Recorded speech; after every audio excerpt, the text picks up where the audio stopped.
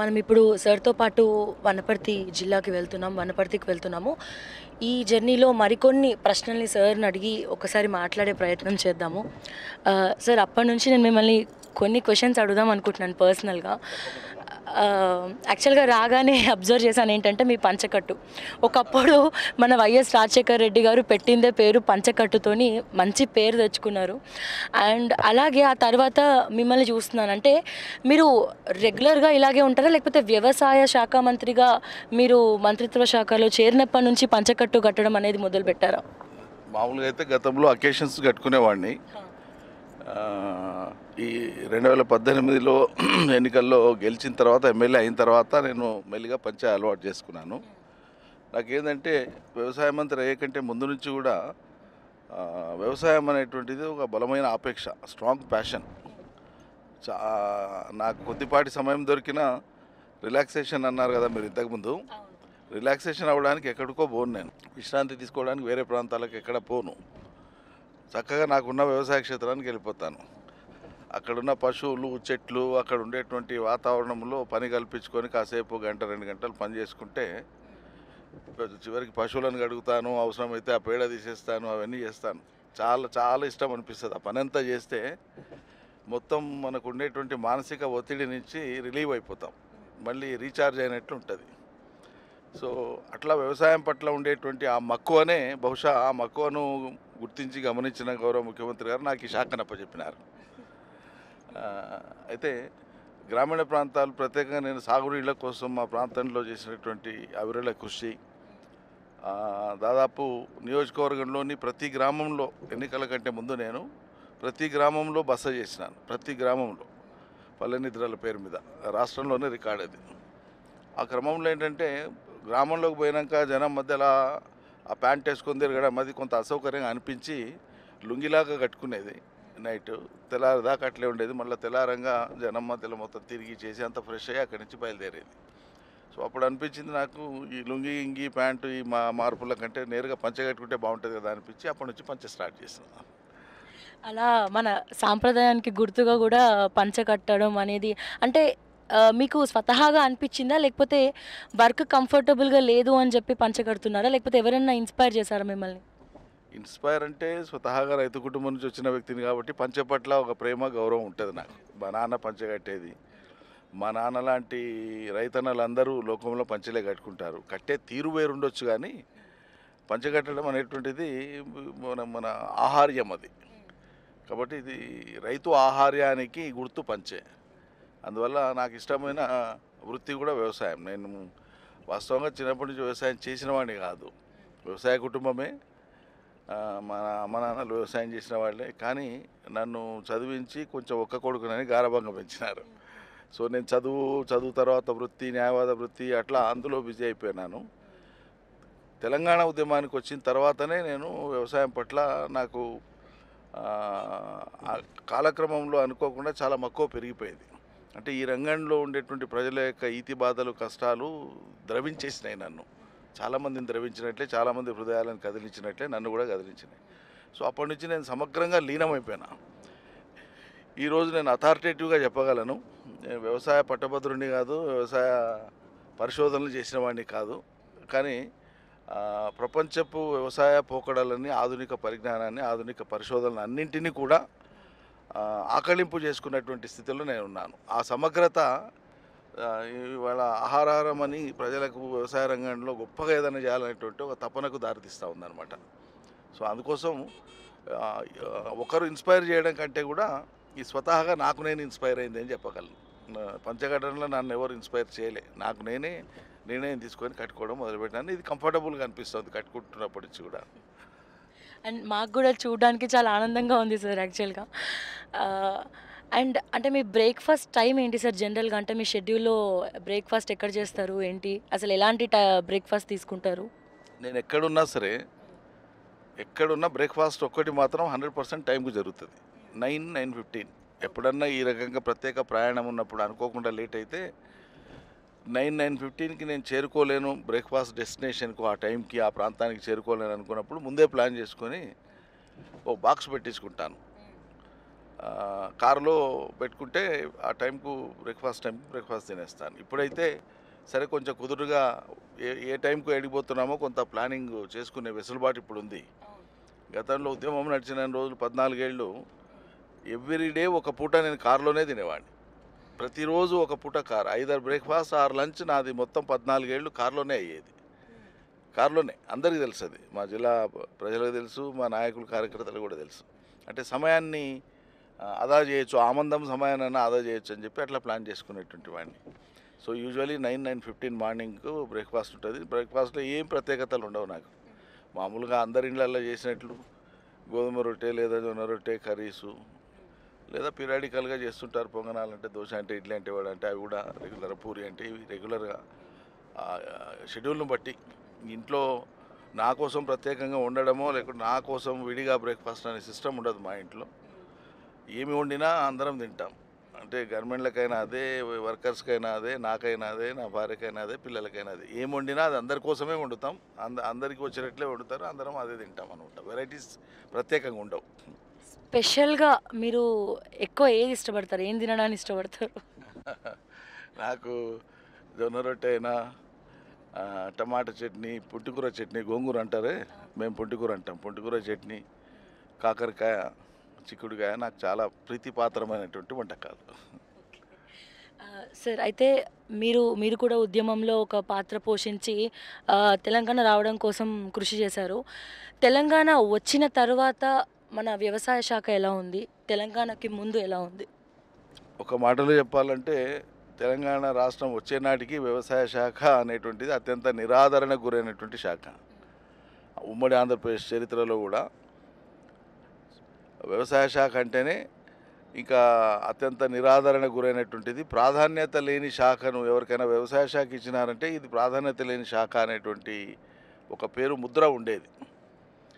గత ప్రభుత్వాల కాలంలో కొన్ని శాఖలు ఆయా వ్యక్తులు నిర్వహించిన తీరుని బట్టి కావచ్చు ఆ శాఖలకు ఇచ్చిన ప్రాధాన్యతను బట్టి కావచ్చు కొన్ని శాఖలకు కొన్ని ప్రత్యేకమైనటువంటి ఆకర్షణలు ఉండేది ఉదాహరణ గతంలో రోషయ్య గారు ఆర్థిక శాఖ మంత్రులుగా చేసినప్పుడు ఫైనాన్స్ డిపార్ట్మెంట్కు ఆర్థిక శాఖకు ఒక గ్లామర్ ఉండేది ఏ మాట కా మాట.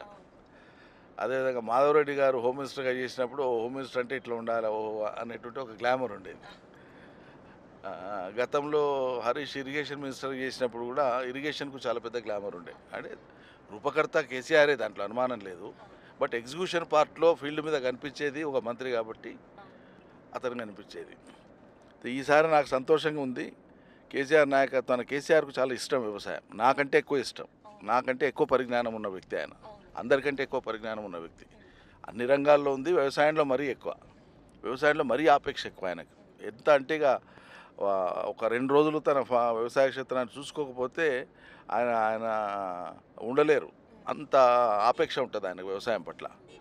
సో ఆయన చూపేటువంటి ప్రత్యేక శ్రద్ధ వ్యవసాయ రంగం మీద రైతుల పట్ల ఆయనకున్న కన్సర్న్ ఈ రాష్ట్రంలో అత్యధిక జనాభాకు ఉపాధినిచ్చేటువంటి ఈ రంగాన్ని బలోపేతం చేయాలనే దానికోసం ఆయన కనే కళలు దాన్ని సాకారం చేయడానికి తీసుకుంటున్నటువంటి చర్యలు ఇవన్నీ వెరసి ఇలా వ్యవసాయ శాఖకు ఇస్తున్నటువంటి ప్రోత్సాహం మూలంగా ఈరోజు రాష్ట్రంలో వ్యవసాయ శాఖ మోస్ట్ గ్లామరస్ డిపార్ట్మెంట్ అని అనుకుంటున్నాను. మీరు కూడా గ్లామరస్ మినిస్టర్ నేను సాదాసీదా మనిషిని. ప్రజెంట్ ఇష్యూ వరి పంట కొనుగోలు గురించి చాలా పెద్ద ఇష్యూస్ నడుస్తున్నాయి అండ్ పార్లమెంట్లో కూడా డిబేట్స్ నడుస్తున్నాయి దీని గురించి. అంటే రాష్ట్రమే ఏదో చేయాలని సెంట్రల్ గవర్నమెంట్ ఏదో చేయాలని మనమైతే లేదు రాష్ట్రమే ఏదో ఒకటి చే- చేయాలి వీళ్ళ చేతిలోనే ఉందని వాళ్ళు అంటున్నారు. సో దీని గురించి మీరేం చెప్తారు? అంటే ఒకటేమ్మా ఇప్పుడు ప్రజలని అవగాహన లేని వాళ్ళు అనుకొని ప్రజలకు తెలియదు అనుకొని ప్రజలు జ్ఞానవంతులు కారు అనుకునేటువంటి ఒక అహంకారపు భ్రమలో ఉండేటువంటి కేంద్ర బీజేపీ నాయకులు మాట్లాడుతున్న మాటలు అవి. కానీ ప్రజలు విఘ్నులు ఎప్పుడు కూడా. ప్రజలు నూటికి నూరు పాళ్ళు సమూహం మొత్తం విఘ్నతతో లేకపోయినా బై అండ్ లార్జ్ ప్రజల యొక్క రేషనాలిటీ ప్రజల యొక్క థింకింగ్ ప్రాసెస్ అనేటువంటిది ఎప్పుడు కూడా విఘ్నతతో ఉంటుంది. ఆ ప్రజలను నడిపించి ఆ ప్రజలను ప్రభావితం చేసేటువంటి సమాజంలో ఉండేటువంటి మేధావులు సమాజంలో ఉండేటువంటి బుద్ధిజీవులు ఎవరైతే ఉంటారో హండ్రెడ్ పర్సెంట్ వాళ్ళందరూ కూడా విఘ్నులు. ఈ- ఆ విఘ్నతనే జనసామాన్యాన్ని నడిపిస్తుంది. ఇప్పుడు స్ట్రైట్గా ఏంటంటే భారతదేశంలో ఒక చట్టపరంగానే ఒక బాధ్యత పరంగానే కేంద్రం తీసుకొచ్చినటువంటి గతంలో తీసుకొచ్చినటువంటి చట్ట ప్రకారంగానే భారతదేశంలో ఉండేటువంటి వ్యవసాయ ఉత్పత్తులన్నింటినీ కూడా ప్రధానంగా ఆహార పంటల్ని అంటే వరి కానీ గోధుమను కానీ ఈ రెండింటిని దేశంలో పండినటువంటి పంట ఏడబండినా మొత్తం కేంద్రమే సేకరించి ఆ కేంద్ర ప్రభుత్వం వివిధ రాష్ట్రాల యొక్క ప్రజల అవసరాల కోసం వాటిని కేటాయిస్తుంది. ఇది విధానం. ఈ విధానం ఇప్పటికీ అమల్లో ఉంది. ఈ విధానాన్ని తీసేయలే. ఈ విధానాన్ని అమలు చేయడం కోసమే ఫుడ్ కార్పొరేషన్ ఆఫ్ ఇండియా భారత ఆహార సంస్థ అనే దాన్ని ఏర్పాటు చేసింది కేంద్రం. రాష్ట్రాలకు ఆహార సంస్థలు ఆహార సంస్థలు ఉండవు. ఆ తెలంగాణ పంజాబా ఇంకో రాష్ట్రమా? ఆహార సంస్థ అనేటువంటిది ఉండేదే కేంద్ర ప్రభుత్వ ఆధీనంలో అది కూడా కేంద్ర ప్రభుత్వ చట్టం ద్వారా ఏర్పడింది. ఒక రాష్ట్రంలో ఫలానా పంటను కొనాలనుకుంటే పంజాబ్లో గోధుమలు కొనాలనుకుంటే కేంద్రం పంజాబ్ రాష్ట్రానికి ఇండెంట్ ఇస్తుంది. మేము మీ రాష్ట్రంలో ఈ సంవత్సరం ఇన్ని గోధుమలు మేము కొంటున్నామని. ఆ కొనేటువంటి ప్రక్రియలో రాష్ట్ర ప్రభుత్వము తన యంత్రాంగం ద్వారా ఆ కార్యక్రమం నిర్వహణ జరగడానికి సహకరిస్తుంది అంతే అది పంజాబ్ అయినా తెలంగాణ అయినా ఆంధ్రప్రదేశ్ అయినా తమిళనాడు అయినా దేశవ్యాప్తంగా ఉండే విధానం ఇది. అయితే మన దగ్గర పంజాబ్ తర్వాత అతి ఎక్కువగా వరి పంట వేసి వస్తున్నటువంటి రాష్ట్రంగా తెలంగాణ అనతి కాలంలోనే రికార్డుకి ఎక్కింది. ఇవాళ భారతదేశంలో అత్యధికంగా వరి పండేటువంటి రాష్ట్రం పంజాబ్ నిన్నటిదాకా. ఇప్పుడు పంజాబ్ను తలదని తెలంగాణ అత్యధికంగా వరి పండే రాష్ట్రంగా చరిత్ర పుటలో నిలుస్తున్నది ఇప్పుడు. రికార్డు అది. ఈ క్రమంలో ఏంటంటే వచ్చేటువంటి దిగుబడి అనూహ్యంగా పెరిగి వస్తున్నది. మన ప్రొడక్టివిటీ కూడా ఎక్కువ. ఇప్పుడు కేంద్ర ప్రభుత్వము తన విధానాలను మార్చుకుంది సడన్గా. ఆ మార్చుకోవడానికి సహేతుకత ఉంటే అది దేశ ప్రజలకు చెప్పొచ్చు. చెప్పి దేశ రైతాంగాన్ని రా దేశంలోని రాష్ట్రాలను రాష్ట్ర ప్రభుత్వాలను దానికి తగ్గట్టుగా సన్నద్ధం చేయాలి. అది కేంద్రం బాధ్యత. అయ్యా ఇప్పుడు మా దగ్గర ఇన్ని నిల్వలు ఉన్నాయి. కాబట్టి ఈ పంట ఇప్పుడు వేయకండి అని స్ట్రైట్గా చెప్పాలా. వాళ్ళేమో మొత్తం భారతదేశంలో ఉండే ఉండే అన్ని రాష్ట్రాల మంత్రులతో ప్రభుత్వాలతో మాట్లాడి మా దగ్గర ఆల్రెడీ బాయిల్డ్ రైస్ అనేటువంటిది చాలా ఎక్కువ మోతాదులో పరిమాణంలో స్టాక్స్లో ఉంది. పెట్టడానికి గోదాములు సరిపోతలేవు. పెట్టినవి మేము ఏం చేయాలో తోస్తలేదు. కాబట్టి ఇప్పటి నుంచి బాయిల్డ్ రైస్ అనేవి మీ మీ రాష్ట్రాలలో మేము కొనము మీరు వేయించకండి రైతులకు చెప్పాను. క్లియర్గా ఆదేశాలు ఇచ్చినారు. అన్ని రాష్ట్రాలకు ఇచ్చినారు. అన్ని రాష్ట్రాలతో పాటు తెలంగాణకి ఇచ్చినారు. మనం ఏం చెప్పినామంటే ఇతర రాష్ట్రాలలో పండేటువంటి పంట మోతాదు పరిమాణం చాలా తక్కువ. తెలంగాణలో వచ్చేటువంటి మోతాదు భారీ ఎక్కువ. కాబట్టి ఇంత పెద్ద రాష్ట్రంలో ఇంత భారీగా వచ్చేటువంటి ఉత్పత్తుల్ని సడన్గా స్విచ్ ఆఫ్ చేసినట్లు చేస్తే కష్టమవుతుంది. కాబట్టి మీరు ప్రత్యామ్నాయాలు ఆలోచించండి. కేంద్రం గోదాములు కానీ రైల్వే వ్యాగన్లు కానీ అదేవిధంగా నిర్వహణ కానీ దానికి డబ్బులు ఇచ్చేది కానీ స్టాక్స్ పంపిణీ చేసేది కానీ విదేశాలకు ఎగుమతి చేసేది కానీ ఇదంతా మీ చేతుల్లోనే ఉంది. మీరు నిర్వహించేటువంటి మీ నిర్వహణ బాధ్యత.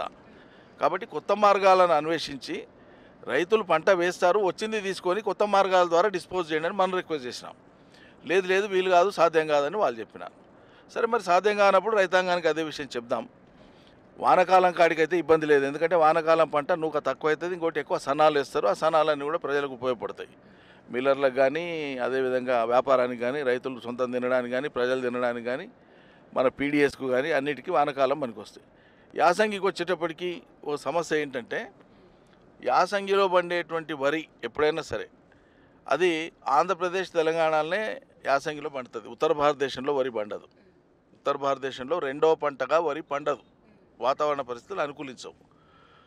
సో పండేది అది అధికంగా పండేది మన దగ్గర ఆంధ్రప్రదేశే.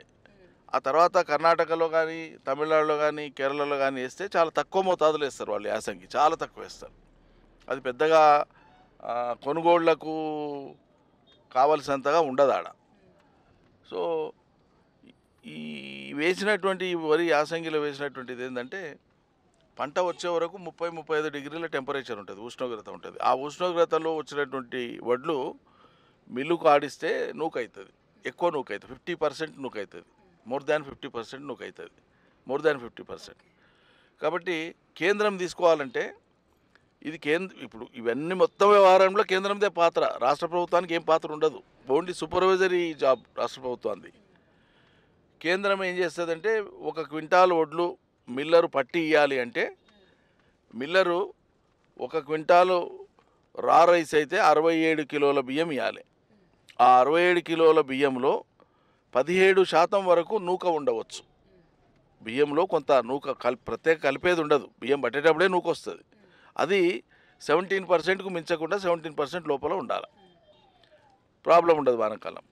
యాసంగికి అయితే ఏమవుతుందంటే బియ్యం రావడమే ఒక క్వింటాల్ ఒడ్లు పండితే యాసంగిలో బియ్యం రావడమే ముప్పై ఏడు ముప్పై ఎనిమిది కిలోల కంటే ఎక్కువ రావు. నూక పర్సంటేజ్ కల్పంగా కూడా యాసంగిలో వాళ్ళు కోరేదంతా అరవై ఎనిమిది కిలోలు కోరుతారు.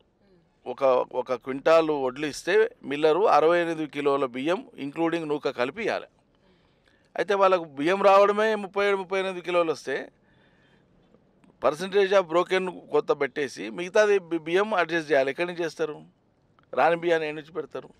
అందుకని కేంద్రం ఏం చేసిందంటే ఇది మిల్లరు రాష్ట్ర ప్రభుత్వాలు చెప్పిన విషయం కాదు. కేంద్ర ప్రభుత్వమే యాసంగిలో నూక అవుతుంది కాబట్టి నూక కాకుండా మీరు మాకు బియ్యం పెట్టాలంటే మీరు బాయిల్డ్ సిస్టమ్గా మీరు మిల్లులు మార్చుకోండి అని బాయిల్డ్ రైస్ విధానాన్ని ప్రవేశపెట్టించిందే కేంద్ర ప్రభుత్వం. ఈ బాయిల్డ్ రైస్లో ఏమవుతుందంటే వడ్లు పండినటువంటి వడ్లను బాయిల్ చేస్తుంది మిల్లులోనే బాయిల్ చేస్తారు ఉడకబెడతారు. ఉడకబెట్టినప్పుడు ఉడకబెట్టి తర్వాత ఆరబెట్టి తర్వాత బియ్యం పడితే దాంట్లో అసలు నూక రాదు. చాలా తక్కువ పరిమాణంలో నూక వస్తుంది తక్కువ పరిమాణంలో. అప్పుడు మిల్లరు అరవై ఎనిమిది కిలోలు పెట్టడానికి సాధ్యమవుతుంది బియ్యాన్ని. అయితే ఇటువంటి ఈ బియ్యము తమిళనాడు కర్ణాటక కేరళ రాష్ట్రాలలో ఎక్కువ తినేది. కేరళ తమిళనా తమిళనాడు కేరళనేమో సంపూర్ణంగా ఈ బాయిల్డ్ రైసే తినేది. కర్ణాటకలో కొంత భాగం తినేది. అయితే ఇటీవలి కాలంలో ఏమైందంటే ఆ రాష్ట్రాల ప్రజలు కూడా సన్నబియ్యానికి అలవాటు పడి క్రమేణా రెండవది వాళ్ళ ప్రాంతంలోనే కొంత వ- వరి పండడం పెరిగి వాళ్ళు బాయిల్డ్ రైస్ తినేటువంటి ఆ వాళ్ళ వినియోగం అనేటువంటి తగ్గిపోయింది. The quantity of consumption of boiled rice is reduced తగ్గిపోయింది. ఇవి కాక కేంద్రం దగ్గర స్టాక్స్ పేర్కొని పోయినాయి. కేంద్రం ఏం చేయాలా? వాస్తవంగా ఏం ఏం చేయాలా కేంద్రం వాళ్ళ దగ్గర ఉండేటువంటి స్టాక్స్ను డిస్పోజ్ చేసుకోవడానికి కొత్త కొత్త పద్ధతులు ఆలోచించుకోవాలి ఎప్పటికప్పుడు ప్రభుత్వం ఆలోచించుకోవాలి. ఒకటి పేద ప్రజలకు పంపిణీ చేయవచ్చు. ఉదాహరణకు మీరు చూసినారు మొన్న కరోనా వచ్చినప్పుడు ఆరు ఆరు కిలోల బియ్యం ఇచ్చినారు పేద ప్రజలకు. ఈ ఆరు కిలోలు ఇచ్చే బదులు ఇరవై ఐదు ముప్పై కిలోలు ఇస్తే ఏం దరిద్రం పోయేది ఉండే స్టాక్స్ నాలుగు కోట్ కోట్ల టన్నుల దా బియ్యం గోదాములలో పెట్టుకొని అవి పాడైపోతూ ఉంటే అవి పురుగు పడుతూ ఉంటే పందికొక్కులు తింటూ ఉంటే గాలికి వానకు పాడవుతూ ఉంటే వాటి అవి అంత పాడయ్యేటట్లు వాటిని అలో చేసి ఆకలి కొనేటువంటి ప్రజలకు మీరు ఆరు కిలోలు ఇచ్చే బదులు ఇరవై కిలోలు ముప్పై కిలోలు ఇస్తే ఆ మేరకు తగ్గేది కదా నిల్వలు? ఒకటి. రెండవది శాంతాకుమార్ కమిటీ అని రెండు వేల పదహైదులో బీజేపీ ప్రభుత్వం వచ్చిన వెను వెంటనే ఒక కమిటీ వేసినారు. దాని పేరు శాంతాకుమార్ కమిటీ. ఈ కమిటీ దేనికోసం వేసినారంటే ఇప్పుడు ఉండేటువంటి FCI food corporation of India ఏదైతే ఉందో దీని యొక్క రెలవెన్స్ ఈ దీ- దీని ఉనికి దీని యొక్క అవసరము ఆగత్యము ఇప్పుడున్న కాలమాన పరిస్థితులలో అవసరమా ఇప్పుడున్న దేశ పరిస్థితులలో అవసరమా అవసరమైతే ఏ పద్ధతిలో ఇది పనిచేయాలి. ఒకప్పుడు ఎఫ్సిఐ ఏర్పడినప్పుడు ఆ ఏర్పాటుకు మూలం ఆనాడు ఉండేటువంటి దేశంలో ఉండేటువంటి కోటాను కోట్ల మంది ప్రజలు ఆకలి కొనేటువంటి పరిస్థితి. కోటాను కోట్ల మంది ప్రజలకు సరిపోయినంత ఆహార ధాన్యాలు దేశంలో లేని పరిస్థితి. అందుకోసమే సస్య విప్లవం వచ్చింది. ఈ సస్య విప్లవం వచ్చి కొత్త వంగడాలు అధిక దిగుబడులు ఇచ్చే వంగడాలు రసాయనిక ఎరువులు ఈ పిచికారీలు ఇవన్నీ వచ్చినాక పంటల దిగుబడులు ఇబ్బడి ముబ్బడిగా పెరిగినాయి. ఇప్పుడు స్టాక్స్ వద్ వద్దనేటంతా వచ్చినాయి. కాబట్టి ఆ రోజు మనకు ఆహార ధాన్యాల కొరత ఉండేది. ఈరోజు ఆహార ధాన్యాలు సర్ప్లస్ ఉన్నాయి. కాబట్టి ఎఫ్సిఐ కొరతలో ఏర్పడినటువంటి ఎఫ్సిఐ కొరత తీర్చడానికి ఏర్పడినటువంటి ఎఫ్సిఐ ఇవాళ సర్ప్లస్ వచ్చినటువంటి అధికంగా వచ్చినటువంటి ఈ నిల్వలను ఏం చేయాలి? కాబట్టి ఎఫ్సిఐ యొక్క రోల్ మారుతుంది ఇప్పుడు. మారితే ఏ రకంగా మారాలి ఏమేమి చేయాలి అని చెప్పి అధ్యయనం చేసి మీరు రికమెండేషన్స్ ఇవ్వండి అని చెప్పి శాంతకుమార్ కమిటీని ఇచ్చినారు. ఈ శాంతకుమార్ కమిటీ రెండు వేల పదిహేనులో వేసినటువంటిది వాళ్ళు రిపోర్ట్ చేసినారు. ఆ రిపోర్ట్లో చాలా రికమెండేషన్స్ ఇచ్చినారు. వాళ్ళు ఇచ్చిన రికమెండేషన్స్లో ఏం చెప్పినారంటే ఆధునిక సాంకేతిక పరిజ్ఞానాన్ని అలవరుచుకొని ఈ ఆహార శుద్ధి పరిశ్రమల వైపు ఆలోచించాలా? ఈ బియ్యాన్ని కానీ వరిని కానీ గోధుమలు కానీ ఆల్కహాల్లో ప్రిపరేషన్ కోసం ఎట్లా వాడుకోవాలో లో కాస్ట్తో ఎట్లా వాడుకోవాలో దాని గురించి ఆలోచించాలా? అదేవిధంగా ఎక్స్పోర్ట్స్ మీద దృష్టి పెట్టాలి? ఆ తర్వాత దేశంలో ఇంకెక్కడన్నా పేద ప్రజలు ఉంటే వాళ్ళకి ఇచ్చి నిల్వలు ఎప్పటికప్పుడు ఖాళీ చేసుకునేటట్లు నిల్వల మీద దృష్టి పెట్టాలి? అనేక రికమెండేషన్లు ఇచ్చినారు వాళ్ళు. ఒక్క రికమెండేషన్ కూడా వీళ్ళు వేసిన కమిటీ ఇచ్చిన రికమెండేషన్ ఒకరు కూడా వీళ్ళు పాటించలే. నిల్వలు లేకుండా మీరు ప్లాన్ చేసుకోండి నేను కమిటీ రిపోర్ట్ ఇస్తే నిల్వలు అట్లే ఉన్నాయని వీళ్ళు చెప్తే ఇంతకంటే మూర్ఖత్వం ఉంటుంది నువ్వు తీసుకున్నది స్టాక్ పెట్టడానికి తెలివి నీకు అది అది తెలివా? తీసుకొని స్టాక్ పెట్టుకోవడానికి ఏం ఏం నైపుణ్యం అవసరం ఉందండి? రైతులకు డబ్బులు ఇస్తే రైతులు పట్టించిరి తీసుకొని పోయి మిల్లులు వేస్తే మిల్లులు పట్టించిరి అవి తీసుకొని పోయి రైల్వే వ్యాగన్లో తీసుకుపోయి గోదాంలో పడేసిరి దీంట్లో దీంట్లో కేంద్ర ప్రభుత్వం తెలివి ప్రదర్శించేది ఏముంది? మొత్తం మాన్యువల్ వర్కేనా? వచ్చిన వచ్చిన దాన్ని ఏం చేయాలని కదా ఆలోచించాల్సింది. దాని మీద ఎఫెక్టివ్ మేనేజ్మెంట్ లేదు. ఈ పరిస్థితులలో వాళ్ళు సరే వాళ్ళు ఈ ప్రజా పంపిణీ కావచ్చు లేకపోతే కొనుగోళ్ళు కావచ్చు వీటిని నిల్వలు కావచ్చు వీటి మీద ఒక సమగ్రమైన దృక్పథంతో చేయలేకపోతున్నారు. అది వాళ్ళు అంగీకరించాలి. అంగీకరించకపోయినా పర్లేదు. నిందల మంది మీద వేయద్దు కదా. ఇప్పుడు రాష్ట్రం మాకు ఇంకా తిరిగి ఇయ్యలేదని మాట్లాడతారు. ఏమైనా అర్థం పడతాం ఉందా? రాష్ట్రము వ్యాపారం రాష్ట్రం చేస్తుందా కేంద్రంతో? రాష్ట్ర ప్రభుత్వం కొంటుందా? రాష్ట్రం కొని మీకేమైనా కమిషన్కి అమ్ముతుందా నువ్వు కొనేటోడివి రైతులు ఇచ్చేటోళ్ళు. రాష్ట్ర ప్రభుత్వం తన యంత్రాంగం చేత నిర్వహణ బాధ్యతను చూస్తుంది. మీరు కోరినట్లు మిల్లువాడు క్వింటాల్కి అరవై ఏడు ఇస్తుండా లేదా చూసే బాధ్యత రాష్ట్ర ప్రభుత్వం ఎందుకంటే మీ కేంద్రం వాళ్ళకి ఈడ యంత్రాంగం ఉండదు కాబట్టి మీ తరఫున రాష్ట్ర ప్రభుత్వం బాధ్యత తీసుకొని చేస్తుంది. మీ పని చేస్తుంది. కేంద్రానికి సంబంధించిన పనిని రాష్ట్ర ప్రభుత్వం చేస్తుంది. అతను అంటాడు దమాకు లేకుండా మేము మాకు తెలంగాణ నుంచి రావాల్సిన బియ్యమే ఇంకా రాలేదు. బియ్యం నువ్వు కొన్నావు నువ్వు తీసుకుపోవాలి. రాకపోవడానికి మా బాధ్యత ఏముంది? నీ చేతకాంతనం నువ్వు రైలు పెట్టుకోవాలి వ్యాగన్లు పెట్టుకోవాలి నీ గోదాములకు నువ్వు తరలించుకోవాలి దానికి మాకేం సంబంధం? అంతే కదా? అయితే ప్రజలను కన్ఫ్యూజ్ చేయడానికి తెలంగాణ ప్రభుత్వం ఏదో వాళ్ళకి బాకీ ఉన్నట్లు మేము సకాలంలో ఇవ్వనట్లు వాడు నాలుగు సార్లు కోరితే నాలుగు సార్లు వాడు మాకు ఎక్స్టెన్షన్ ఇచ్చినట్లు. ఏం దగులు బాధితనం ఏందండి ఇది? ప్రజాస్వామ్యంలో ఇంత మోసపూరితంగా ప్రజల్ని పక్కదారి పట్టించినట్లు ప్రవర్తించకూడదు కదా? చాలా పెద్ద తప్పు ఇది. నేరం అది. ప్రభుత్వ నిర్వహణ వ్యవహారంలో మీ పాత్ర ఏంది మా పాత్ర ఏంది? మా పాత్ర మేము నిర్వహిస్తున్నాం. ఇప్పుడు ఒక నెలలో పది లక్షల మెట్రిక్ టన్నుల బియ్యాన్ని బియ్యంగా చేసి మనం కేంద్రానికి ఇవ్వగలిగేటువంటి శక్తి మన రాష్ట్రంలో ఉండేటువంటి రైస్ మిల్లుల కెపాసిటీ. పది లక్షల మెట్రిక్ టన్నులు చేస్తే పది లక్షల మెట్రిక్ టన్నులు వాళ్ళు లిఫ్ట్ చేసుకోవాలి. వాళ్ళు లిఫ్ట్ చేసుకోకుండా అక్కడే పెట్టిందనుకోండి వాడు బియ్యం బట్టి ఆడబెట్టాలి అర్థమైందా?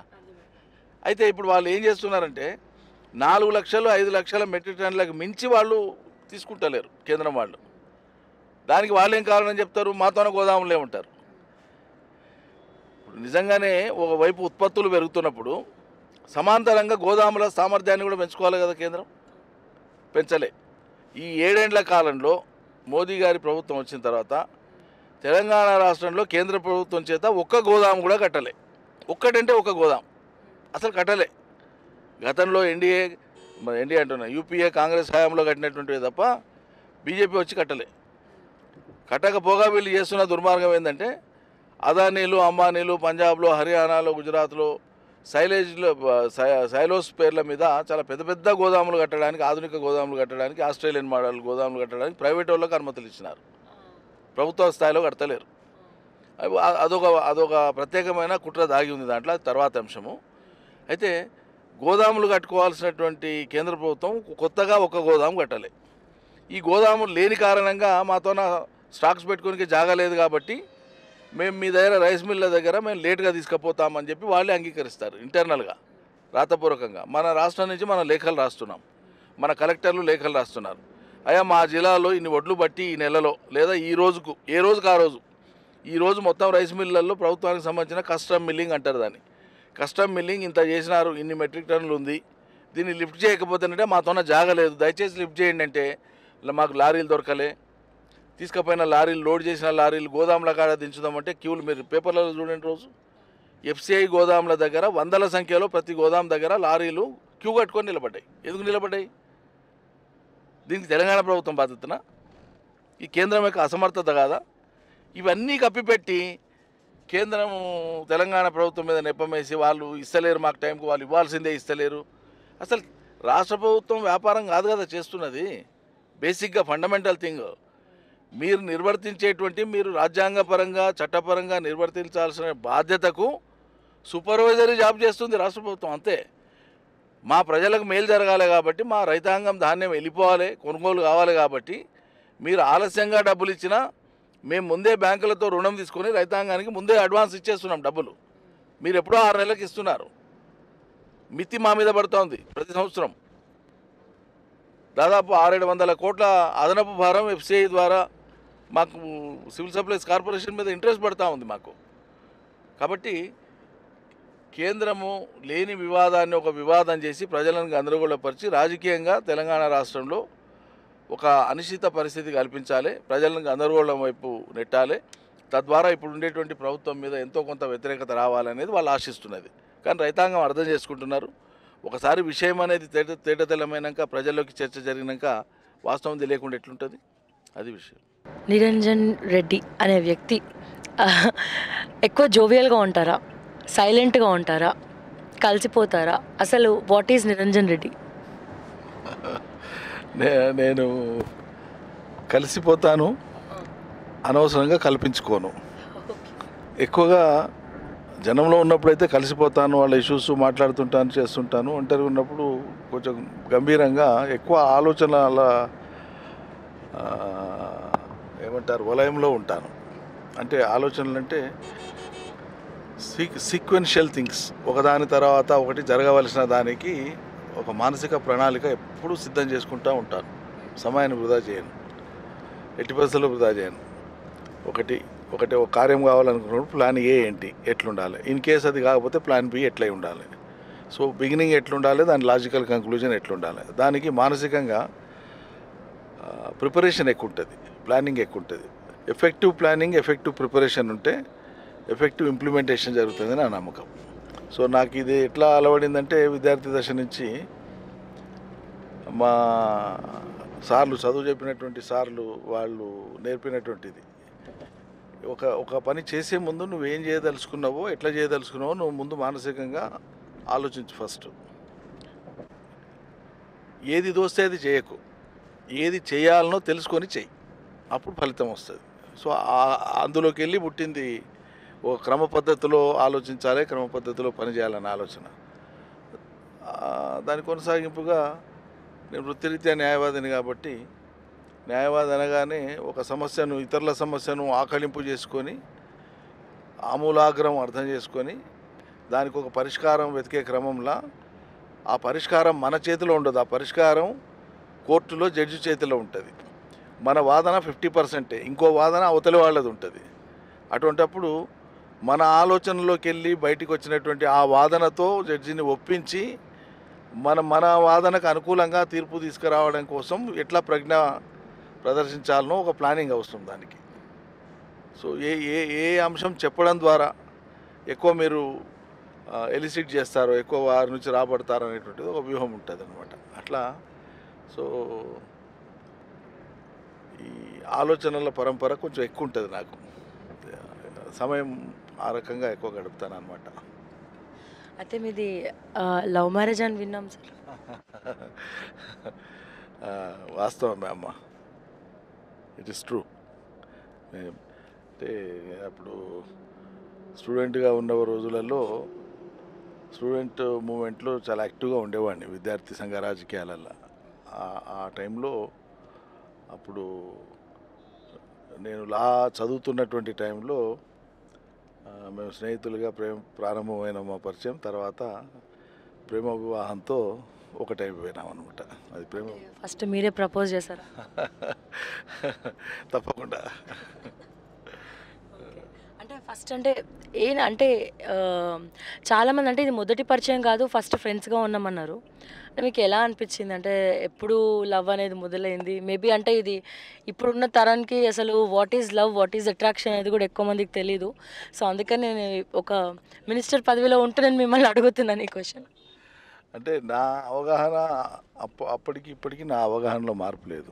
నేను కొద్దిగా అప్పట్లో ఆలోచించే క్రమంలో కూడా లైఫ్కు సంబంధించి ఎక్కువ గంభీరంగా ఆలోచించేవాడిని. సమాజం గురించి కూడా ఎక్కువ ఆలోచించడం మొదటి నుంచి అలవాటు. అందులో భాగంగానే నా స్నేహము నా పరిచయము నా స్నేహము అది ప్రేమగా వికసించటం. మీరు అన్నారు కదా ఏది ప్రేమో ఏది ఆకర్షణ అని. నాది ఆకర్షణతో కూడిన ప్రేమ కాదు. అభిప్రాయాల పరంగా జీవితం పరంగా జీవించవలసిన కాలంలో పరస్పరం అంగీకరించదగిన అంశాల ప్రాతిపదికగా ఇష్టం ఏర్పడ్డది. సో కుటుంబ నేపథ్యం కానీ మనం ఆలోచించేది దేనికోసం? మన కోసం ఆలోచిస్తామా? పర్ల కోసం ఆలోచిస్తామా? మన కోసం ఆలోచిస్తూ పర్ల కోసం ఎక్కువ ఆలోచిస్తామా? మన స్థానం ఏంది? దీనికి మనకు తోడుగా ఉండేటువంటి శ్రీమతి లేకుంటే శ్రీవారు ఇద్దరిలో వీరు కానీ వారు కానీ అదే ఆలోచన ఉందా లేదా? మళ్ళీ అది సంఘర్షణకు దారి తీయొద్దు నేను ఒక పని చేస్తానంటే మీరు అట్లా ఎట్లా చేస్తారనే పరిస్థితి. తనకు ఉండొద్దు నాకు ఉండొద్దు ఆ సంకుచితత్వానికి తావు లేకుండా నేను ఒకటి ఆలోచిస్తున్నా నేను ఇది చేస్తున్నా అంటే ఇది సమ్మతమే అనేటువంటిది అది ప్రతిరోజు చెప్పాల్సిన అవసరం లేదు. అభిప్రాయాల రీత్యానే దానికి ఆమోదం ఉండాలి. అప్పుడు సులువుగా ఉంటుంది. సో అట్లా అభిప్రాయాల పరంగా ఏకత్వం ఉంది కాబట్టి అది ఆకర్షణకు తావు లేకుండా నిజమైనటువంటి అభిప్రాయాల ప్రాతిపదికగా వికసించినటువంటి ప్రేమ. అయితే కట్ చేస్తే ఇప్పుడు అంటే ఇంట్లో ఒప్పించడానికి సినిమాటిక్ లెవెల్లో సుమోలు ఎగరడం లేకపోతే ఏమైనా గొడవలు అవ్వడం అలాంటివి ఏమైనా జరిగాయా? వాస్తవం చెప్పాలంటే ముందు వాళ్ళ నాన్నగారు కానీ వాళ్ళ ఇంట్లో వాళ్ళు కానీ చాలా అభిమానంతో అంగీకరించినారు మా ప్రేమ తెలిసినాక. వాళ్ళ అమ్మగారు మా అంటే మా అత్తమ్మగారు ఆమెకు వ్యతిరేకత లేదు కానీ ఒక ఆందోళన ఉండింది. ఇప్పుడు చదువుతున్నాడు కదా ఈ ఈ బాబు స్థిరపడాలి కదా స్థిరపడే లోపు ఒకవేళ పెళ్ళి అయితే వీళ్ళు ఎట్లా బతుకుతారు? సహజంగానే ఏ తల్లికైనా ఉన్న ఆందోళన అది. సో నా సమర్థత ఏంటో ఆమెకు అప్పటికి తెలియదు కదా. సో ఒక కొడుకు అల్లుడైనా ఒక కొడుకే. సో ఒక కొడుకు సమర్థత ఏంటి? ఒక అల్లుడి సమర్థత ఏంటి? తల్లికో అత్త- అత్తమ్మకో? దాని మీద వాళ్ళకి అంచనా వచ్చేదాకా చిన్నపిల్లలుగానే చూస్తారు. వీళ్ళు ఎట్లా బతుకుతారో ఏమో అనేటువంటి కొద్దిగా ఆ ఆందోళనతో ముందు కొంచెం అయిష్టం ఉండింది. తర్వాత మళ్ళీ ఈ ఒకసారి ఆమోదించి పెళ్ళి అయ్యి తర్వాత కొనసాగుతున్న క్రమంలో మా అమ్మ స్థానం ఆమెది కూడా. మా మా అమ్మ కంటే తక్కువ స్థానంలో నేను ఎప్పుడు చూడలే. మా అమ్మ నన్ను కనిపించిన సొంత తల్లి అయితే ఆమె మరో తల్లి అట్ అంత వాత్సల్యం ఆమె చూపిస్తూ ఉంటారు. అంత అభిమానం నేను కూడా కలిగి ఉంటాను. అంత గొప్ప మాతృమూర్తి ఆమె. ఎక్కువ అంటే మీకు ఇష్టమైంది ఏంటి సార్? అంటే ఈ లైక్ రాజకీయం అదంతా ఇప్పుడు మీరు మినిస్టర్ అయినాక ఇప్పుడు అటు ఇటు మీరు పనులతో బిజీ అయిపోయారు. కానీ అంటే మీరు పాటలు ఎక్కువ వినడం కానీ సినిమాలు చూడడం కానీ సో టైం ఎక్కువ ఫ్యామిలీతో స్పెండ్ చేసేవాళ్ళ ఎలా ఉండేది మీ షెడ్యూల్ అనేది? అంటే నేను ఎంచుకున్న వృత్తి పట్ల చాలా నిబద్ధతతో ఎక్కువ సమయం ఇచ్చేవాడిని. నా వృత్తి ద్వారా నాకు నచ్చినట్లు నేను నా దగ్గరికి వచ్చేటువంటి వాళ్ళకు నా సేవలు అందించి వాళ్ళ అభిమానాన్ని పొందడం నాకు ఇష్టమైనటువంటిది. న్యాయవాదిగా చాలా సీరియస్గా ఒక ఇరవై ఏళ్ళు ప్రాక్టీస్ చేశాను నేను. ఆ తర్వాత అడపదడప తెలంగాణ ఉద్యమానికి వచ్చిన కారణాల చేత సమయం ఎక్కువ లేక అడపదడప వెళ్ళాల్సి వచ్చేది కొట్టుకు ఆ తర్వాత పూర్తిగా మానేశాను. అయితే న్యాయవాదిగా సీరియస్గా పనిచేసిన రోజులలో నేను చాలా చాలా విజయవంతమైన న్యాయవాదిగా ప్రతిభావంతమైన న్యాయవాదిగా నాకు పేరుంది. రాజకీయాలలో ఉన్నాం కాబట్టి ఒక పార్టీలో ఉంటే అవ- అవతలి పార్టీ వాళ్ళు విమర్శిస్తారు. లేదా వాళ్ళకి అంతర్గతంగా నచ్చినా బహిరంగంగా నచ్చనట్లే విమర్శిస్తారు. కానీ న్యాయవాదిగా నాకు అక్రాస్ ద సెక్షన్స్ అవతలి పక్క కేసు ఓడిపోయిన వాళ్ళు కూడా నా ప్రతిభను అంగీకరించి నా గొప్పతనాన్ని అంగీకరించిన వాళ్ళే. అంతటి అభిమానాన్ని న్యాయవాదిగా చూడగొన్నాను అది చాలా విశేషణమైనటువంటి ఆదరణ న్యాయవాదిగా పొందిన. అందులో నేను ఒక నియమం పెట్టుకున్నా. పేదలు అన్నార్థలు అన్నార్థులు మహిళలు ఖర్చు భరించలేనటువంటి వాళ్ళు ఉంటే నేను వాళ్ళకి ఎదురు పెట్టి చేసిన వాళ్ళతో ఆశించకుండా. తర్వాత న్యాయవాదిగా నాకు వచ్చేటువంటి రెమ్యునరేషను అదైతే వస్తుందో దాంట్లో కూడా నేను నా కోసం వాడేటువంటి క్రమంలో నాకు చైతన్యన కాడికి గుప్తదానం అనుకోండి దానం అనే పదం వాడకూడదు. గుప్తంగా ఇతరులకు తోడ్పడడం చదువుకునే పిల్లలకు వాళ్ళకు వీళ్ళకు అది. అది తర్వాత కూడా నేను కొనసాగిస్తున్నాను. సో అట్లా వృత్తిపరంగా వృత్తిలో నిమగ్నమై వృత్తికి న్యాయం చేకూరుస్తూ వృత్తి ద్వారా ఆ ప్రజాభిమానాన్ని సంపాదించుకున్నటువంటి వాడిని. ఇక కాలక్షేపానికి నాకు సమయం ఉండేది కాదు వాస్తవం చెప్పాలంటే.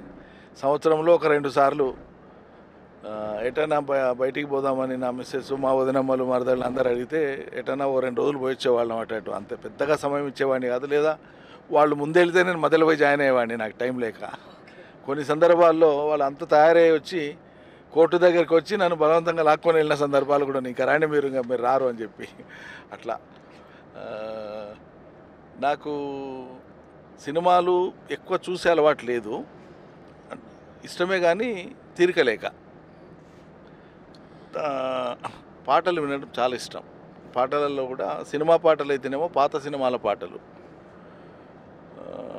తర్వాత ఇతర పాటలు అనుకుంటే నేను తెలంగాణ ఉద్యమం సాగినన్ని రోజులు అంతకుముందు కూడా. విద్యార్థి దశ నుంచి. మన వ్యవస్థ మార్పు కోసం చేసే కృషిలో భావజాల వ్యాప్తిలో ప్రత్యేకంగా తెలంగాణ ప్రాంతంలో పాటది ఒక ప్రత్యేకమైన స్థానం. పాట లక్షల మందిని కోట్ల మందిని కదిలించేటువంటి శక్తి పాటకు ఉంటుంది కాబట్టి వ్యవస్థ మారాలే ఇది చలనశీలమైంది సమాజం. ఎప్పటికీ మంచి వైపుకు మార్పులు జరుగుతూ ఉండాలి అడుగులు వేస్తూ ఉండాలి. ఆ క్రమంలో ఈ పాట కానీ సాహితీ సాంస్కృతిక కోణం కానీ దాని పాత్ర అది పోషిస్తూనే ఉంటుందని నమ్మేవాడిని నేను. నేను అట్లా పాటలు వినడం అనేటువంటిది నాకు అలవాటు. కారులో ప్రయాణం చేసేటప్పుడు అన్ని రకాల పాటలు. సమాజ మార్పును ఉద్దేశించి అనేక మంది రచయితలు గాయకులు గాయనీలు ఎంతోమంది పాడినటువంటి పాటలు ఎంతోమంది రాసినటువంటి పాటలు అవన్నీ కూడా తరచుగా ఉంటాను నాకు విమలక పాటలు చాలా ఇష్టం. చాలా చాలా ఇష్టం. ఆమె గొంతు చాలా ఇష్టం. నాకు చెల్లెలు లాంటిది.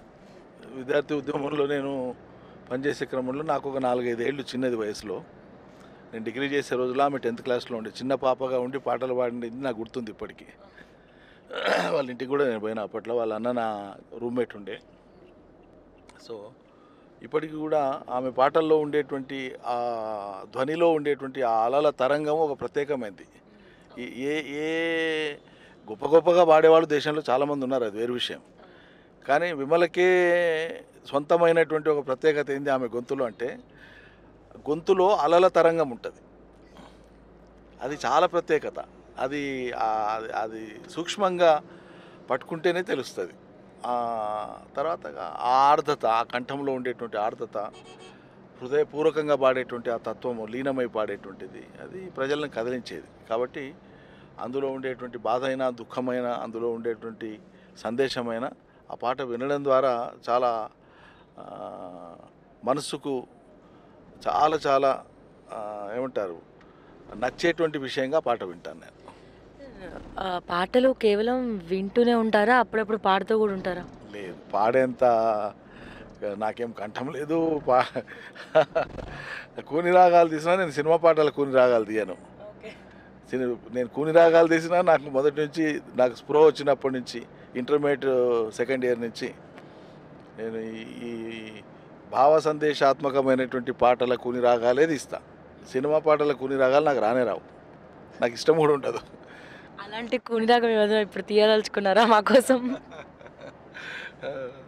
మారాలి మారాలి మారాలి మారాలి మన సమాజము. Super sir thank you thank you so much యాక్చువల్గా రాగానే అబ్జర్వ్ చేశాను ఏంటంటే మీ పంచకట్టు. ఒకప్పుడు మన వైఎస్ రాజశేఖర్ రెడ్డి గారు పెట్టిందే పేరు పంచకట్టుతోని మంచి పేరు తెచ్చుకున్నారు. అండ్ అలాగే ఆ తర్వాత మిమ్మల్ని చూస్తున్నాను అంటే మీరు రెగ్యులర్గా ఇలాగే ఉంటారా? లేకపోతే వ్యవసాయ శాఖ మంత్రిగా మీరు మంత్రిత్వ శాఖలో చేరినప్పటి నుంచి పంచకట్టు కట్టడం అనేది మొదలు పెట్టారా మామూలుగా అయితే గతంలో అకేషన్స్ కట్టుకునేవాడిని. ఈ రెండు వేల పద్దెనిమిదిలో ఎన్నికల్లో గెలిచిన తర్వాత ఎమ్మెల్యే అయిన తర్వాత నేను మెల్లిగా పంచాయ అలవాటు చేసుకున్నాను. నాకేంటంటే వ్యవసాయ మంత్రి అయ్యే కంటే ముందు నుంచి కూడా వ్యవసాయం అనేటువంటిది ఒక బలమైన ఆపేక్ష స్ట్రాంగ్ ప్యాషన్. చా నాకు కొద్దిపాటి సమయం దొరికిన రిలాక్సేషన్ అన్నారు కదా మీరు ఇంతకుముందు రిలాక్సేషన్ అవ్వడానికి ఎక్కడికో పోను నేను. విశ్రాంతి తీసుకోవడానికి వేరే ప్రాంతాలకు ఎక్కడ పోను. చక్కగా నాకున్న వ్యవసాయ క్షేత్రానికి వెళ్ళిపోతాను. అక్కడున్న పశువులు చెట్లు అక్కడ ఉండేటువంటి వాతావరణంలో పని కల్పించుకొని కాసేపు గంట రెండు గంటలు పని చేసుకుంటే చివరికి పశువులను కడుగుతాను అవసరమైతే ఆ పేడ తీసేస్తాను అవన్నీ చేస్తాను. చాలా చాలా ఇష్టం అనిపిస్తుంది. ఆ పని అంతా చేస్తే మొత్తం మనకు ఉండేటువంటి మానసిక ఒత్తిడి నుంచి రిలీవ్ అయిపోతాం. మళ్ళీ రీఛార్జ్ అయినట్లు ఉంటుంది సో అట్లా వ్యవసాయం పట్ల ఉండేటువంటి ఆ మక్కువనే బహుశా ఆ మక్కువను గుర్తించి గమనించిన గౌరవ ముఖ్యమంత్రి గారు నాకు ఈ శాఖ అప్పచెప్పినారు అయితే గ్రామీణ ప్రాంతాలు ప్రత్యేకంగా నేను సాగునీళ్ళ కోసం మా ప్రాంతంలో చేసినటువంటి అవిరళ కృషి దాదాపు నియోజకవర్గంలోని ప్రతి గ్రామంలో ఎన్నికల కంటే ముందు నేను ప్రతి గ్రామంలో బస చేసినాను ప్రతి గ్రామంలో పల్లెనిద్రల పేరు మీద రాష్ట్రంలోనే రికార్డ్ అది. ఆ క్రమంలో ఏంటంటే గ్రామంలోకి పోయినాక జనం మధ్యలో ఆ ప్యాంట్ వేసుకొని తిరగడం అది కొంత అసౌకర్యంగా అనిపించి లుంగిలాగా కట్టుకునేది. నైట్ తెల్లారిదాకా అట్లే ఉండేది. మళ్ళీ తెల్లారంగా జనం మధ్యలో మొత్తం తిరిగి చేసి అంత ఫ్రెష్ అయ్యి అక్కడి నుంచి బయలుదేరేది. సో అప్పుడు అనిపించింది నాకు ఈ లుంగి ఇంగి ప్యాంటు ఈ మా మార్పుల కంటే నేరుగా పంచ కట్టుకుంటే బాగుంటుంది కదా అనిపించి అప్పటి నుంచి పంచ స్టార్ట్ చేసిన. అలా మన సాంప్రదాయానికి గుర్తుగా కూడా పంచ కట్టడం అనేది అంటే మీకు స్వతహాగా అనిపించిందా? లేకపోతే వర్క్ కంఫర్టబుల్గా లేదు అని చెప్పి పంచగడుతున్నారా? లేకపోతే ఎవరైనా ఇన్స్పైర్ చేశారా మిమ్మల్ని? ఇన్స్పైర్ అంటే స్వతహాగా రైతు కుటుంబం నుంచి వచ్చిన వ్యక్తిని కాబట్టి పంచె పట్ల ఒక ప్రేమ గౌరవం ఉంటుంది నాకు. మా నాన్న పంచె కట్టేది. మా నాన్న లాంటి రైతన్నలందరూ లోకంలో పంచెలే కట్టుకుంటారు. కట్టే తీరు వేరు ఉండొచ్చు కానీ పంచె కట్టడం అనేటువంటిది మన మన ఆహార్యం అది. కాబట్టి ఇది రైతు ఆహార్యానికి గుర్తు పంచే. అందువల్ల నాకు ఇష్టమైన వృత్తి కూడా వ్యవసాయం. నేను వాస్తవంగా చిన్నప్పటి నుంచి వ్యవసాయం చేసిన వాడిని కాదు. వ్యవసాయ కుటుంబమే. మా అమ్మ నాన్నలు వ్యవసాయం చేసిన వాళ్ళే. కానీ నన్ను చదివించి కొంచెం ఒక్క కొడుకునని గారభంగా పెంచినారు. సో నేను చదువు చదువు తర్వాత వృత్తి న్యాయవాద వృత్తి అట్లా అందులో బిజీ అయిపోయినాను. తెలంగాణ ఉద్యమానికి వచ్చిన తర్వాతనే నేను వ్యవసాయం పట్ల నాకు కాలక్రమంలో అనుకోకుండా చాలా మక్కువ పెరిగిపోయింది. అంటే ఈ రంగంలో ఉండేటువంటి ప్రజల యొక్క ఈతి బాధలు కష్టాలు ద్రవించేసినాయి నన్ను. చాలామందిని ద్రవించినట్లే చాలామంది హృదయాలను కదిలించినట్లే నన్ను కూడా కదిలించినాయి. సో అప్పటి నుంచి నేను సమగ్రంగా లీనమైపోయినా. ఈరోజు నేను అథారిటేటివ్గా చెప్పగలను. నేను వ్యవసాయ పట్టభద్రుని కాదు వ్యవసాయ పరిశోధనలు చేసిన వాడిని కాదు. కానీ ప్రపంచపు వ్యవసాయ పోకడలని ఆధునిక పరిజ్ఞానాన్ని ఆధునిక పరిశోధనలు అన్నింటినీ కూడా ఆకళింపు చేసుకున్నటువంటి స్థితిలో నేను ఉన్నాను. ఆ సమగ్రత ఇవాళ ఆహారారం అని ప్రజలకు వ్యవసాయ రంగంలో గొప్పగా ఏదైనా చేయాలనేటువంటి ఒక తపనకు దారితీస్తూ ఉందన్నమాట. సో అందుకోసం ఒకరు ఇన్స్పైర్ చేయడం కంటే కూడా ఈ స్వతహాగా నాకు నేను ఇన్స్పైర్ అయింది అని చెప్పగలను. పంచఘటనలో నన్ను ఎవరు ఇన్స్పైర్ చేయలే. నాకు నేనే నిర్ణయం తీసుకొని కట్టుకోవడం మొదలుపెట్టాను. ఇది కంఫర్టబుల్గా అనిపిస్తుంది కట్టుకుంటున్నప్పటి నుంచి కూడా. అండ్ మాకు కూడా చూడడానికి చాలా ఆనందంగా ఉంది సార్ యాక్చువల్గా. Uh, అండ్ అంటే మీ బ్రేక్ఫాస్ట్ టైం ఏంటి సార్ జనరల్గా అంటే మీ షెడ్యూల్లో బ్రేక్ఫాస్ట్ ఎక్కడ చేస్తారు? ఏంటి? అసలు ఎలాంటి బ్రేక్ఫాస్ట్ తీసుకుంటారు? నేను ఎక్కడున్నా సరే ఎక్కడున్నా బ్రేక్ఫాస్ట్ ఒక్కటి మాత్రం హండ్రెడ్ పర్సెంట్ టైంకు జరుగుతుంది. నైన్ నైన్ ఫిఫ్టీన్ ఎప్పుడన్నా ఈ రకంగా ప్రత్యేక ప్రయాణం ఉన్నప్పుడు అనుకోకుండా లేట్ అయితే నైన్ నైన్ ఫిఫ్టీన్కి నేను చేరుకోలేను. బ్రేక్ఫాస్ట్ డెస్టినేషన్కు ఆ టైంకి ఆ ప్రాంతానికి చేరుకోలేను అనుకున్నప్పుడు ముందే ప్లాన్ చేసుకొని ఓ బాక్స్ పెట్టించుకుంటాను.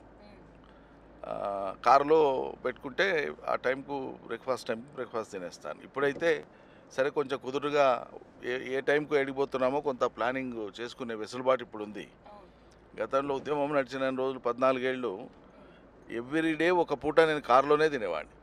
ప్రతిరోజు ఒక పూట కార్ ఐదర్ బ్రేక్ఫాస్ట్ ఆర్ లంచ్ నాది మొత్తం పద్నాలుగేళ్ళు కారులోనే అయ్యేది. కారులోనే అందరికీ తెలుసు అది. మా జిల్లా ప్రజలకు తెలుసు మా నాయకులు కార్యకర్తలు కూడా తెలుసు. అంటే సమయాన్ని ఆదా చేయొచ్చు ఆమందం సమయాన్ని ఆదా చేయొచ్చు అని చెప్పి అట్లా ప్లాన్ చేసుకునేటువంటి వాడిని. So usually nine nine fifteen మార్నింగ్కు breakfast ఉంటుంది. బ్రేక్ఫాస్ట్లో ఏం ప్రత్యేకతలు ఉండవు నాకు. మామూలుగా అందరి ఇళ్ళల్లో చేసినట్లు గోధుమ రొట్టె లేదా జొన్న రొట్టె కర్రీసు లేదా పీరియాడికల్గా చేస్తుంటారు. పొంగనాలంటే దోశ అంటే ఇడ్లీ అంటే వాడు అంటే అవి కూడా రెగ్యులర్ పూరి అంటే ఇవి రెగ్యులర్గా. షెడ్యూల్ను బట్టి ఇంట్లో నా కోసం ప్రత్యేకంగా ఉండడమో లేకుంటే నా కోసం విడిగా బ్రేక్ఫాస్ట్ అనే సిస్టమ్ ఉండదు మా ఇంట్లో. ఏమి వండినా అందరం తింటాం. అంటే గవర్నమెంట్లకైనా అదే వర్కర్స్కైనా అదే నాకైనా అదే నా భార్యకైనా అదే పిల్లలకైనా అదే. ఏం వండినా అది అందరి కోసమే వండుతాం. అంద అందరికి వచ్చేటట్లే వండుతారు. అందరం అదే తింటాం అనమాట వెరైటీస్ ప్రత్యేకంగా ఉండవు. స్పెషల్గా మీరు ఎక్కువ ఏది ఇష్టపడతారు? ఏం తినడానికి ఇష్టపడతారు? నాకు జొన్న రొట్టె అయినా టమాటా చట్నీ పుట్టుకూర చట్నీ గోంగూర అంటారే? మేము పుట్టుకూర అంటాం. పుట్టుకూర చట్నీ కాకరకాయ చిక్కుడుకాయ నాకు చాలా ప్రీతిపాత్రమైనటువంటి వంటకాలు. సార్ అయితే మీరు మీరు కూడా ఉద్యమంలో ఒక పాత్ర పోషించి తెలంగాణ రావడం కోసం కృషి చేశారు. తెలంగాణ వచ్చిన తర్వాత మన వ్యవసాయ శాఖ ఎలా ఉంది? తెలంగాణకి ముందు ఎలా ఉంది? ఒక మాటలో చెప్పాలంటే తెలంగాణ రాష్ట్రం వచ్చే నాటికి వ్యవసాయ శాఖ అనేటువంటిది అత్యంత నిరాదరణకు గురైనటువంటి శాఖ. ఉమ్మడి ఆంధ్రప్రదేశ్ చరిత్రలో కూడా వ్యవసాయ శాఖ అంటేనే ఇంకా అత్యంత నిరాదరణ గురైనటువంటిది. ప్రాధాన్యత లేని శాఖను ఎవరికైనా వ్యవసాయ శాఖ ఇచ్చినారంటే ఇది ప్రాధాన్యత లేని శాఖ అనేటువంటి ఒక పేరు ముద్ర ఉండేది. గత ప్రభుత్వాల కాలంలో కొన్ని శాఖలు ఆయా వ్యక్తులు నిర్వహించిన తీరును బట్టి కావచ్చు ఆ శాఖలకు ఇచ్చిన ప్రాధాన్యతను బట్టి కావచ్చు కొన్ని శాఖలకు కొన్ని ప్రత్యేకమైనటువంటి ఆకర్షణలు ఉండేది ఉదాహరణ గతంలో రోషయ్య గారు ఆర్థిక శాఖ మంత్రులుగా చేసినప్పుడు ఫైనాన్స్ డిపార్ట్మెంట్కు ఆర్థిక శాఖకు ఒక గ్లామర్ ఉండేది ఏ మాట కా మాట. అదేవిధంగా మాధవరెడ్డి గారు హోమ్ మినిస్టర్గా చేసినప్పుడు ఓ హోమ్ మినిస్టర్ అంటే ఇట్లా ఉండాలి ఓ అనేటువంటి ఒక గ్లామర్ ఉండేది. గతంలో హరీష్ ఇరిగేషన్ మినిస్టర్ చేసినప్పుడు కూడా ఇరిగేషన్కు చాలా పెద్ద గ్లామర్ ఉండే. అంటే రూపకర్త కేసీఆరే దాంట్లో అనుమానం లేదు. బట్ ఎగ్జిక్యూషన్ పార్ట్లో ఫీల్డ్ మీద కనిపించేది ఒక మంత్రి కాబట్టి అతను కనిపించేది. ఈసారి నాకు సంతోషంగా ఉంది. కేసీఆర్ నాయకత్వాన్ని కేసీఆర్కు చాలా ఇష్టం వ్యవసాయం. నాకంటే ఎక్కువ ఇష్టం. నాకంటే ఎక్కువ పరిజ్ఞానం ఉన్న వ్యక్తి ఆయన. అందరికంటే ఎక్కువ పరిజ్ఞానం ఉన్న వ్యక్తి. అన్ని రంగాల్లో ఉంది వ్యవసాయంలో మరీ ఎక్కువ. వ్యవసాయంలో మరీ ఆపేక్ష ఎక్కువ ఆయనకు. ఎంత అంటే ఇక ఒక రెండు రోజులు తన వ్యవసాయ క్షేత్రాన్ని చూసుకోకపోతే ఆయన ఆయన ఉండలేరు.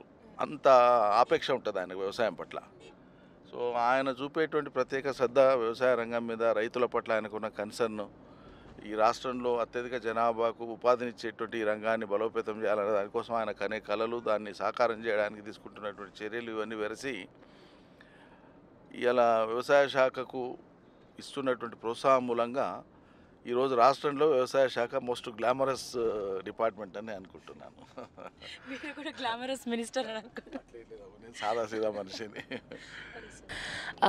మీకు ముగ్గురు ఆడపిల్లలని విన్నాము. సో వాళ్ళు ఎక్కడ ఉంటారు? వాళ్ళు ఇక్కడే ఉంటారా? హైదరాబాద్లో వాళ్ళు ఏం చదువుతున్నారు? పెద్ద అమ్మాయి gynaecologist doctor medical doctor. Married children ఉన్నారు. కొద్ది రోజులు ఇనీషియల్గా లండన్లో ఉన్నారు. తర్వాత తిరిగి వచ్చేసి ఇప్పుడు హైదరాబాద్లోనే స్థిరపడ్డారు. ఆమె ఇక్కడ వస్తూ పోతూ ఉంటుంది ఇక్కడ వ్యవహారాలు కూడా చూసుకుంటుంటుంది. రెండో అమ్మాయి చిన్న అమ్మాయి ఇద్దరు న్యూజిలాండ్లో చదువుకొని తర్వాత ఆస్ట్రేలియాలో స్థిరపడ్డారు. అక్కడే జాబ్స్ చేస్తున్నారు. చిన్న అమ్మాయికి సంతానం అయ్యారు ఒక కొడుకు మొన్న మధ్యలో. రెండో అమ్మాయికి ఇంకా సంతానం లేదు. రెండో అమ్మాయి ఏమో ఇంజనీరు ఆస్ట్రేలియాలో మెకట్రానిక్స్ ఇంజనీర్ ఎలక్ట్రికల్ డిజైన్స్ చేస్తుంది ఆమె. తర్వాత మూడో అమ్మాయి ఏమో ఆంకాలజీలో రీసెర్చ్ స్కాలర్ మెల్బర్న్ యూనివర్సిటీలో రీసెర్చ్ చేస్తూ ఉంది ఆంకాలజీలో ఆమెది మాస్టర్స్ ఇన్ అనాటమీ అనాటమీలో మాస్టర్స్ చేసింది. సో ముగ్గురు వాళ్ళు అనమాట సో అందరూ మంచి ఎడ్యుకేటెడ్ ఒక్కొక్కరు ఒక్కొక్క డిపార్ట్మెంట్ మంచి ఎడ్యుకేటెడ్ పర్సన్స్ ఉన్నారు. బాగా చదువుకున్నారు. వా- అంటే ఇంటర్మీడియట్ వరకే రెండో అమ్మాయి ఇక్కడ చదివింది. ఇంటర్మీడియట్ తర్వాత ఇంజనీరింగ్ తర్వాత జాబ్ అంతా ఆస్ట్రేలియా. చిన్న అమ్మాయి నైన్త్ క్లాస్ వరకే ఇక్కడ చదువుకుంది. నైన్త్ తర్వాత న్యూజిలాండ్ వెళ్ళి అక్కడే వాళ్ళ చిన్నమ్మ వాళ్ళు ఉండేవాళ్ళు. అక్కడికి వెళ్ళి వాళ్ళిద్దరు అక్కడ చదువుకున్నారు. రెండో అమ్మాయి బయట మెడిసిన్ చేసి తర్వాత వచ్చి ఇక్కడ పీజీ చేసింది. పీజీ చేసి ఆమె ఇక్కడ గైనకాలజిస్ట్గా సెటిల్ అయింది. గవర్నమెంట్ హాస్పిటల్ కొండాపూర్లో వర్క్ చేస్తూ ఉంది. మీకు ఎప్పుడైనా అంటే మిస్ అయిన ఫీలింగ్ అలా అంటే చూడాలనిపించినప్పుడు అమ్మాయిల్ని మాట్లాడాలనిపించినప్పుడు ఎలా ఫీల్ అవుతారు? ఆల్మోస్ట్ ఎవ్రీడే కాకపోయినా వారంలో మూడు నాలుగు సార్లు మాట్లాడతాను ఫోన్ చేసి. నేను మర్చిపోయినా వాళ్ళు నేను పనిలో ఉంటానని మర్చిపోతానని తెలుసు కాబట్టి మర్చిపోవడం కంటే బిజీగా ఉంటానని చెప్పి వాళ్ళే చేస్తారు. మార్నింగ్స్ చేస్తారు. చేసినప్పుడు మాట్లాడుతూ ఉంటాను. వాళ్ళ మమ్మీ రెగ్యులర్గా మాట్లాడుతుంటుంది. నేను నాకు టైం దొరికినప్పుడు నేను మాట్లాడతాను. వాళ్ళకి టైం దొరికినప్పుడు వాళ్ళు మాట్లాడతారు. పెద్దమ్మాయి ఇక్కడే ఉంది కాబట్టి పెద్దమ్మాయి పెద్దమ్మాయి పిల్లలు మాతో ఎక్కువ స్పెండ్ చేస్తారు. నేను చిన్నప్పుడు మా పిల్లల్ని మిస్ అయిన అటు ప్రొఫెషన్లో ఉండి లాయర్గా ఉన్నప్పుడు వాళ్ళు హైదరాబాద్లో చదువుకునేది. నేను వనపర్తి మహబూబ్నగర్లో నా ప్రాక్టీసు. అందుకని ఫ్యామిలీ హైదరాబాద్లో ఉండి పిల్లల్ని అక్కడ చదివించే టైంలో అట్లా ఎక్కువ మిస్ అయ్యేవాడిని. తర్వాత ఇక పెళ్ళిళ్ళు అయ్యి వారి ప్రొఫెషన్స్లో వాళ్ళు ఉన్న తర్వాత ఇప్పుడు ఫీల్ అవుతుంటాను చిన్నప్పుడు వాళ్ళతో గడపాల్సినంత సమయం గడపలేకపోయినా కదా అనే ఫీలింగ్ వెంటాడుతూ ఉంటుంది. అందుకని ఇప్పుడు మా గ్రాండ్ చిల్డ్రన్ ఎవరైతే ఉన్నారో they love to come to us. అంటే ఒక- ఒక రెండు రోజులు సెలవు దొరికిందంటే చాలు ఇక తాత దగ్గరికి అమ్మమ్మ దగ్గరికి వెళ్దామని వాళ్ళు మారం చేస్తూనే ఉంటారు. వచ్చేస్తారు. ఇంకా ఇక్కడికి వచ్చిందంటే వాళ్ళకి ఫుల్ ఫ్రీడమ్ అనమాట ఆడడము ఎగరడము చెట్ల మధ్యలో కోళ్ళు గొర్రెపిల్లలు మేకలు పశువులు తోట వీటన్నిటి మధ్యలో స్విమ్మింగ్ ఎంజాయ్ చేస్తూనే ఉంటారు. ఇక్కడికి వచ్చిందంటే పోరు వాళ్ళు they got they different world. ఇంకా మళ్ళీ ఆ ప్రపంచం వదిలి మళ్ళీ వాళ్ళ ఇంటికి పోవాలంటే మేము అమ్మ నాన్న దగ్గరికి పోము మేము ఇక్కడే ఉంటామంటారు.